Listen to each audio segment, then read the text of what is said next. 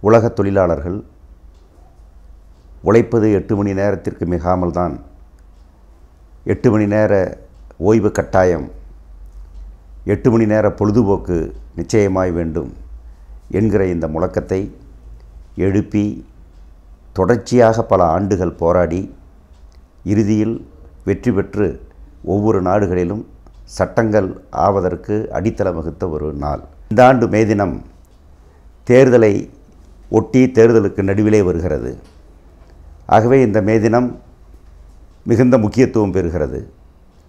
இந்த மே தின கொண்டாட்டங்களை கூட தொழிலாளர்கள் அனுஷ்டிக்கக்கூடாது என்கிற முறையிலே தேர்தல் ஆணையம் பல்வேறு கெடுபிடிகளை நிகழ்த்தி கொண்டிருக்கிறது. தொழிலாளரின் மிகப்பெரிய விழாவான இந்த நாளன்று கூட அவர்களை இந்த கொண்டாட்டங்களை நடத்த அனுமதிக்காதது வருந்தத்தக்கது கண்டிக்கத்தக்கது. தமிழகத்தை இதுவரை ஆண்ட இரண்டு கட்சிகளும் தொழிலாளர்களுக்காக நாங்கள் இதை செய்வோம் அதை செய்வோம் என்று அளிக்காத வாக்குறுதிகளே இல்லை. தொழிலாளர்களுக்கு எல்லாவற்றையும் நாங்கள் செய்து முடித்து விட்டோம். தொழிலாளர்களுக்கு என்று இப்போது எழுப்புவதற்கு கோரிக்கைகளே இல்லை என்று கூட வித்தாரம் பேசுகிற கட்சிகள் தான் இந்த கட்சிகள். ஆனால் தொழிலாளர்கள் இப்போதும் அவர்கள் சட்ட ரீதியாக அனுபவிக்க தகுந்தவர்களை கூட அனுபவிக்க முடியாமல் தான் இருக்கிறார்கள். அந்த சட்ட உரிமைகளை நிலைநாட்டி கொள்ள இயலாதவர்களாகத்தான் தமிழ்நாட்டிலே இருக்கிறார்கள். ஆட்சியோ அரசு எந்திரங்களோ அவர்கள் உரியதை பெறுவதற்கு எந்தவிதமான உதவியையும் தொழிலாளர் துறை மூலமாக அல்லது வேறு வகைகள் மூலமாக அவர்கள் செய்ய தயாராக இல்லை. உதாரணமாக மே தினத்தினுடைய மிக முக்கிய முழக்கமான எட்டு மணி நேரம் இப்போதும் தமிழகத்திலே பெரிய நிறுவனங்களிலே அமலாகவில்லை. எண்ணற்ற தொழிற்சாலைகளிலே அமலாகவில்லை. அநேகமாக எங்கும் அமலாகவில்லை என்று சொல்லலாம். சில ஆர்கனைஸ்டு இண்டஸ்ட்ரியிலே இருக்கக்கூடிய இடங்களை தவிர வேறு எங்கும் அமலாகவில்லை. அங்கு கூட கான்ட்ராக்டு கேஷுவல் என்கிற முறையில் இருக்கிற தொழிலாளர்களுக்கு எட்டு மணி நேர வேலை என்பது இல்லை. இந்த எட்டு மணி நேர வேலை என்பதை சட்டப்படியாகவே பத்து மணி நேரமாக்க வேண்டும். பன்னிரெண்டு மணி நேரமாக்க வேண்டும் என்கிற முழக்கங்களைத்தான் இப்போது தமிழகத்திலே நாம் கேட்கிறோம் இந்தியாவிலே கேட்கிறோம். ஆளுகின்றவர்களும் அதற்கு அனுசரணையாக இருக்கிறார்கள். ஒருவேளை உற்பத்தி குறித்து அதிக நேர வேலை செய்ய வேண்டிய தேவை ஒரு குறிப்பிட்ட நாளில் ஒரு குறிப்பிட்ட தொழிலாளிக்கு ஏற்படுமானால் அவர்களுக்கு இரட்டிப்பு சம்பளம் தர வேண்டும் என்பதும் கூட இப்போது ஏற்கப்படுவதில்லை அமுலாக்கப்படுவதில்லை. அதேபோல் நம்முடைய தொழிலாளர்கள் அவர்களுக்கு எவ்வளவு உழைத்தாலும் குறைந்தபட்ச கூலி என்பது அதி முதலாளிகள் நினைக்கிற கூலியாக முதலாளிகள் விரும்புகிற கூலியாகத்தான் இருக்கிறது. வாழ்வதற்கு உரிய கூலி லிவிங் வேஜ் ஒரு குறைந்தபட்ச ஒரு தன்னை தற்காத்துக் கொள்வதற்கு தன்னை பாதுகாத்துக் கொள்வதற்குள்ள வேஜ் கூட இன்றைக்கு அவர்களுக்கு இல்லை என்கிற நிலைமை தான் இருக்கிறது. அப்படிப்பட்ட அந்த குறைந்தபட்ச கூலியை ஆட்சியாளர்கள் ஒரு குறிப்பிட்ட இடைவெளியிலே மீண்டும் மீண்டும் தீர்மானித்து அதை சட்டமாக்கி இதை ஒவ்வொரு நிறுவனமும் அமுல்படுத்த வேண்டும் என்பதை கராராக பின்பற்றாவிட்டால் தொழிலாளர்களுக்கு உரிய கூலி கிடைக்காது. குறிப்பாக முறைசாரா தொழிலாளர்களுக்கு உரிய கூலி கிடைக்காது. அவர்கள்தான் பல கோடிக்கணக்கில் இருக்கிறார்கள். இன்றைக்கு மக்கள் நலக் கூட்டணி ஒரு மாற்றாட்சிக்காக ஒரு மாற்று முறைமைக்காக நிற்கிற என்று அந்த கட்சிகள் இன்றைக்கு அறிவித்து களத்தில் நிற்கிறார்கள். தொழிலாளர்களுக்காக எட்டு மணி நேர வேலையை அமுல்படுத்துவோம். அதேபோல் பதினெட்டாயிரம் ரூபாய் குறைந்தபட்ச கூலி என்பதை உறுதிப்படுத்துவோம் இது எல்லா வகையிலும் சாத்தியம். ஆட்சியாளர்கள் இதை அமுல்படுத்த வேண்டும் என்கிற அக்கறையை காட்டினால் நிச்சயமாக இது அமுலுக்கு வரும். அதை தேமுதிக மக்கள் நலக் கூட்டணி தமாக அந்த கூட்டமைப்பு அமுல்படுத்தும் என்று சொல்லியிருக்கிறார்கள். இது வரவேற்கத்தக்கது.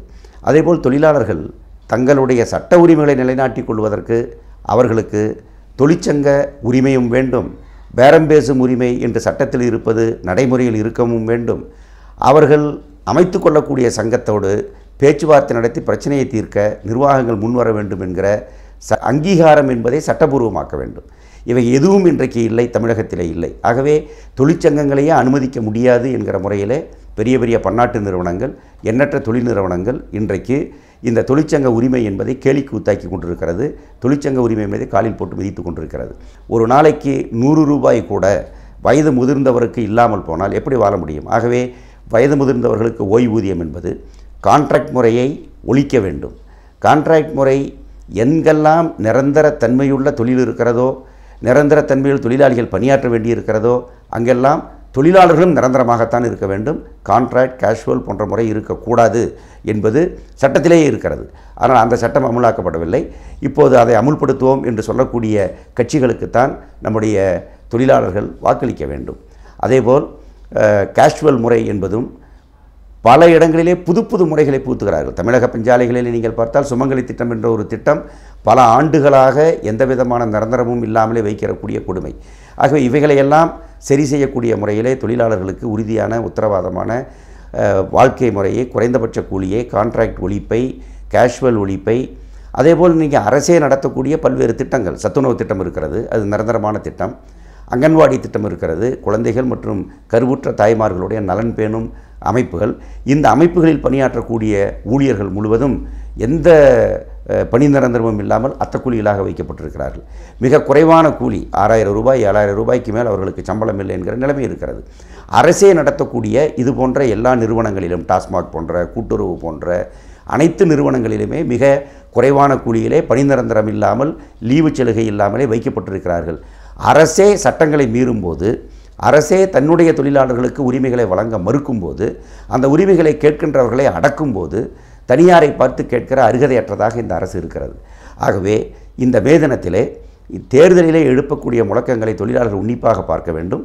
முழக்கங்களை மட்டுமல்ல கடந்த காலங்களிலே இவைகளையெல்லாம் செயல்படுத்துகிற வாய்ப்பில் இருந்தவர்கள் அதிகாரத்தில் இருந்தவர்கள் என்ன செய்தார்கள் என்பதையும் இணைத்து பார்த்து இந்த தேர்தலில் இந்த மே தினம் இந்த தேர்தலுக்கு இடையிலே வருகிறது என்பது ஒரு குறிப்பான முக்கியத்துவம் பெறுகிறது என்று நான் சொன்னதற்கு காரணமே இந்த தேர்தலில் நாம் யாருக்கு வாக்களிக்க வேண்டும் என்பதை வார்த்தைகளை வைத்து மட்டுமல்ல செயல்களை வைத்து தீர்மானிக்க வேண்டும் என்பதுதான் என்னுடைய வேண்டுகோள். இந்த மே நன்னாளில் தமிழகத்தை சார்ந்த அனைத்து உழைப்பாளிகளுக்கும் அனைத்து மக்களுக்கும் என்னுடைய மே தின வாழ்த்துக்களை தெரிவித்துக் கொள்கிறேன்.